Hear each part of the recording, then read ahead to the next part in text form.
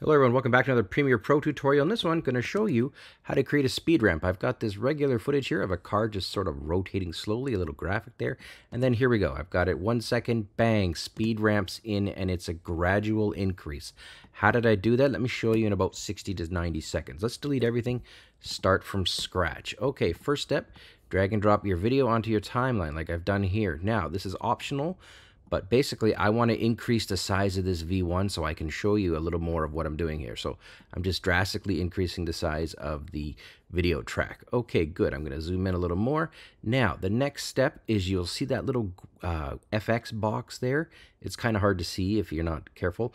Right click on it, making sure you're hovering over top of it. And when you do that, you get the option to go time remapping speed. Click on that, and then you get this purple with a white line. This is your remapping speed line. But before I go ahead and adjust the speed, the first thing I'm going to do is I'm going to move this timeline or playhead to about the one second mark because that's where I want the uh, speed ramp to start.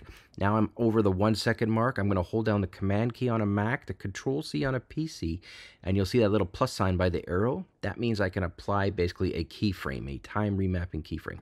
Left click on that and presto, I'll zoom in a little bit and you will see that I've got this cool looking thing here. So what am I going to do? The next step is I'm going to actually grab, I'm going to hover over the white line and then I'm going to push it way up and I'm going to go to something like 900%.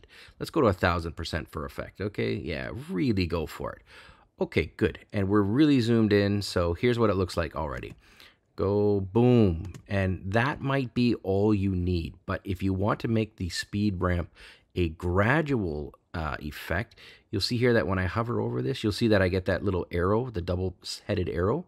If I drag this one thing out a little bit, if I drag one of the little handles out, you'll see here that I get this angle. And now watch what happens. It slowly speeds up.